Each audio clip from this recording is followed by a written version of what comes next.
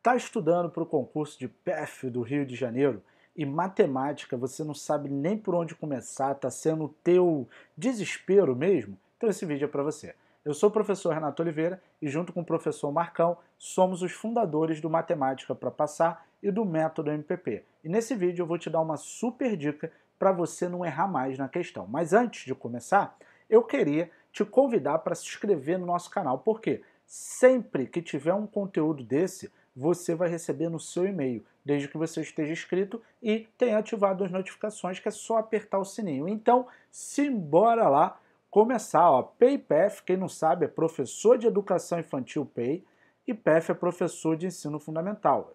Está previsto aqui no município do Rio concurso para PEF, mas fiquem ligados porque PEI vem aí também, porque a carência é enorme. E hoje a nossa dica vai ser de regra de 3. Mas antes de começar, deixa eu até mudar aqui, eu queria te convidar, vou ficar aparecendo aqui para você, eu queria te convidar para seguir o meu Instagram, prof.renatoliveira, e a minha página no Facebook, que é prof.renatoliveira. Lá nós nos falamos diretamente. Agora, vamos lá resolver a questão. Galera, vou começar te ensinando o que nós chamamos no método MPP de método dos 50.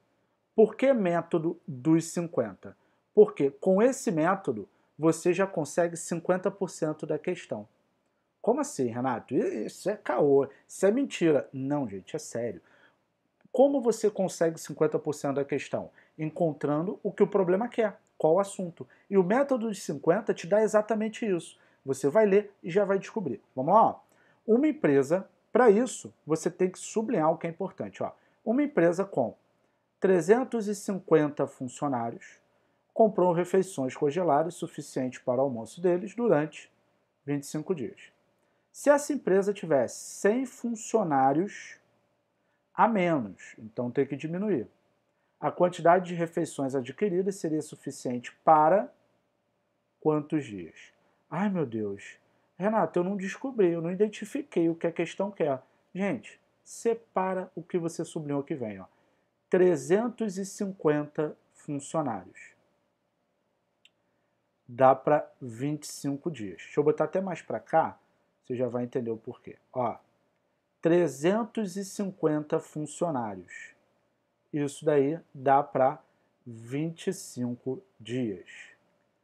100 funcionários a menos. Então eu tenho 350, eu vou ter 100 a menos, eu vou passar a ter 250 funcionários. Isso vai dar para X dias. Tudo bem? Então, ó, 350 funcionários dá para 25 dias, 250, porque eu tenho 100 a menos para X dias. Esse problema é um problema de regra de 3. Então, o que eu te falei? Método dos 50.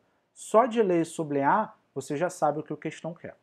Pessoal, fazer a regra de 3 existem vários métodos. Tem o da seta, tal, cada um na sua. O método que eu uso aqui é o que eu chamo de método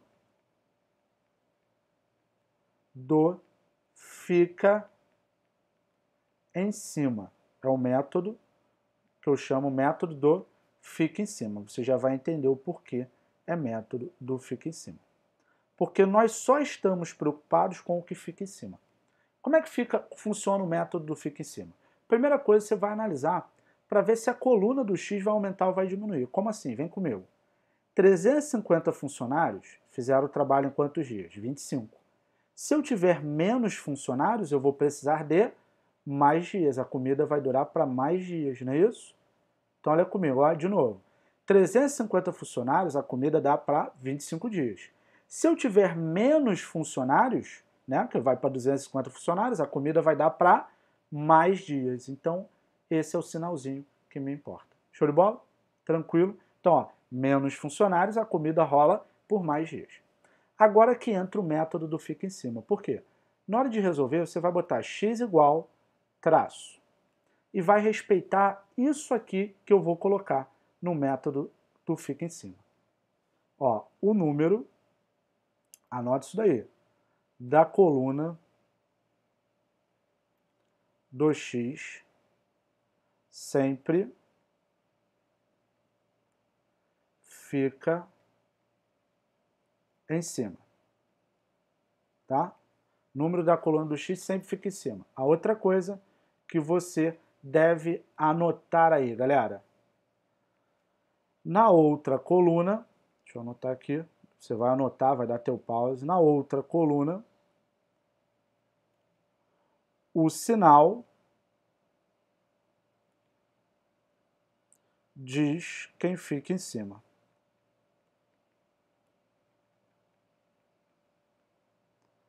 Sinal diz quem fica em cima, ok? E aí deixa eu voltar aqui para outra tela, que aí eu sumo. E para finalizar, o sinal vai mostrar aqui. Calma aí, esse método é poderosíssimo, porque tu não está preocupado se é direto, se é inverso, tu vai direto, tá?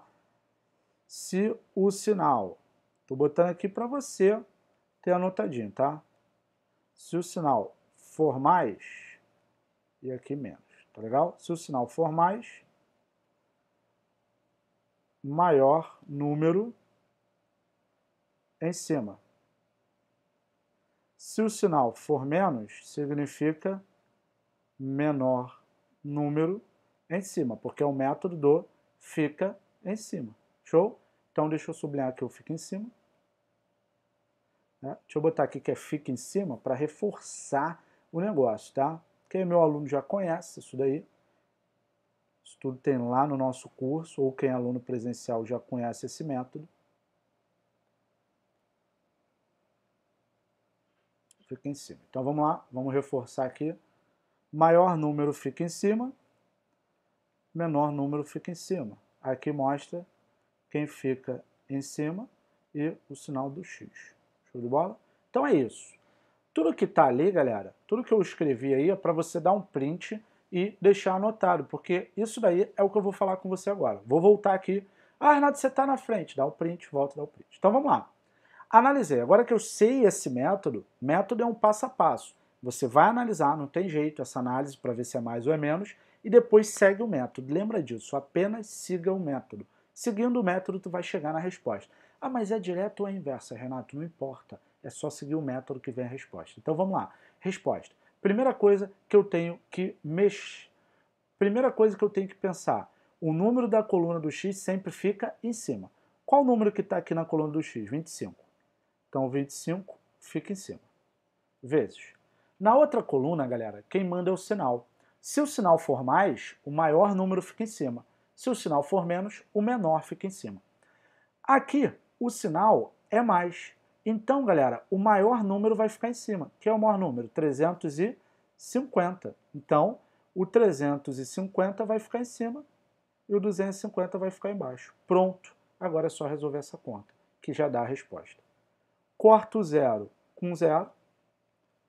Aí vem a resposta. Fica 25 vezes 35 sobre 25. Gente, eu não vou nem me estressar. 25 em, em cima, 25 embaixo, como é uma multiplicação, uma divisão, eu cancelo. Daí qual é o resultado? 35. Morreu. Essa é a resposta. Acabou. Vai dar para 35 dias, marco V da vitória na letra C. Então esse é o método do fique em cima. Isso tudo tem o um passo a passo lá no nosso curso, onde eu te mostro isso, está sensacional. E quem é aluno do presencial já viu o método do fique em cima presencialmente. Ah, Renato, eu prefiro. Faça do jeito que você se sentir melhor. Agora, nossos alunos, quem é meu aluno, falou que gostou muito porque é prático, é método. Lembra, método é um processo que te faz chegar ao resultado. Então aqui é um processo, você analisa ali e depois segue o processo. Dá o print e deixa anotado aí. Show de bola? E não esquecem, quinta 10 horas, espalha para geral, vamos ter essas dicas aí, tá legal? E na, antes de você ir embora, se você chegou até aqui é porque você está muito interessado. E nós temos um curso que está aqui na descrição para esse concurso de PEI e PEF. É o curso que prepara para PAEI, PEI e PEF. PAEI teve a prova agora e é para PEI e PEF também. Se você não conhece, então, o que, que tem no nosso curso, galera? No nosso curso, você tem um nivelamento de matemática. Nós não estamos preocupados em que você em te ensinar. Nós queremos que você aprenda, porque te ensinar, te ensinaram até hoje. E adiantou alguma coisa? Nós queremos que você aprenda. Pensando nisso, nós preparamos um nivelamento para você recordar, desde somar, subtrair até potência, tá legal? Então, o nivelamento. Depois do nivelamento, pessoal, vem todo o curso teórico de matemática. Teoria com exercício. E o mais legal, ao final de cada assunto, você tem um simulado interativo. É isso mesmo. Você vai assistir, por exemplo, regra de três. Regra de três. Você vai assistir o simular a regra de três.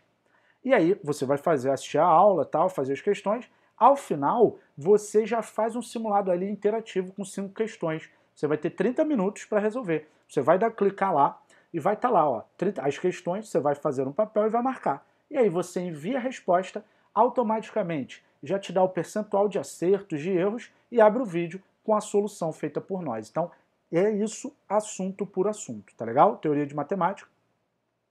Além disso, vocês têm seis bônus, isso mesmo, seis bônus que nós estamos dando para vocês. O primeiro bônus, galera, que tem aí é um curso de exercícios, tá? Com as últimas provas corrigidas, num total de 90 questões. O segundo bônus, galera, são quatro simulados de matemática, tá? O terceiro bônus são dois simulados de português com a Débora. O quarto bônus são três apostilas, num total de 300, estou vendo aqui no celular, 360 questões comentadas em PDF. O quinto bônus, um curso de exercícios de português com a Débora, com 50 questões de provas anteriores resolvidas. E para finalizar, cinco simulados interativos, cada um com 10 questões no mesmo esquema. Aí é com a matéria toda do jeito que tua banca cobra. Mas, Renato, quanto custa isso? Gente, o custo é zero, porque isso não é custo, isso é investimento. Você fazendo um investimento aqui, no primeiro salário tu recupera mais de sete vezes. Onde você vai investir e vai recuperar mais de sete vezes. Sem contar que é para a vida toda. Então, é investimento, tá legal? Se nós fôssemos considerar tudo que nós estamos oferecendo, Teoria de matemática, galera, deixa eu pegar aqui, seria 199,90. Tá? Aí, nos bônus, o primeiro bônus, são as questões, seria 134,90. O segundo bônus, os quatro simulados, seriam 109,90. O terceiro, os dois aqui, seriam 49,90. Seriam, calma. Aqui seria 79,90, as três apostilas. E o curso de exercícios de português, R$ 134,90. E esses cinco simulados que são exclusivos, você não tem nenhum, não consegue. Ah, eu quero fazer só os cinco simulados. Não, isso é exclusivo do curso, R$ 119,90.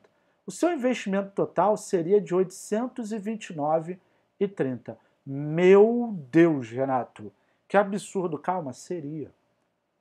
Porque como nós estamos estudando todos esses bônus, o seu investimento será de apenas R$ 199,90 em 10 vezes de R$19,99. Gente, o que, que você faz com R$19,99? Esse é o preço para você, esse é o investimento para você mudar a história da tua vida com a matemática, com, com a matemática, né? racional não cai para você, e ser aprovado no concurso de PEF. O salário inicial de PEF hoje está bruto 5,700. Só você fazer aí o seu investimento, você recupera mais de sete vezes. Então, é cair dentro e a preparação tem que ser com antecedência. Isso é o mais importante, se preparar com antecedência, tá legal? Se você pegar por dia, dá R$ 1,11, muito menos que um cafezinho, você pegar por dia. Então, ó, aqui embaixo tem o link, tá? Tem um link do nosso curso. Clica nesse link, tá legal? E vai lá, que tem a introdução, eu explico tudo isso que eu falei para você. Show de bola? Como é que vai funcionar o curso. E lembra, matemática é para passar. E nós somos um time. Te aguardo quinta, 10 horas. Combina para geral. Fala com todo mundo que quinta, 10 horas tem essa estreia aqui. Eu tô te aguardando. E eu te vejo na próxima dica e também no nosso curso. Vai ser um prazer participar dessa parte da sua vida, da transformação. Show? Porque é o que eu falo para todo mundo. Eu não tô nessa parada por dinheiro. Eu não sou professor por dinheiro. Pelo amor de Deus, gente. Eu tô nisso pelo impacto que eu vou causar na sua vida, transformação na sua vida e da sua família. Isso não tem preço para mim. É sério, gente, sério mesmo. Valeu então, pessoal. Tô ficando por aqui. Um beijo, te vejo na próxima dica e no nosso curso. Até lá!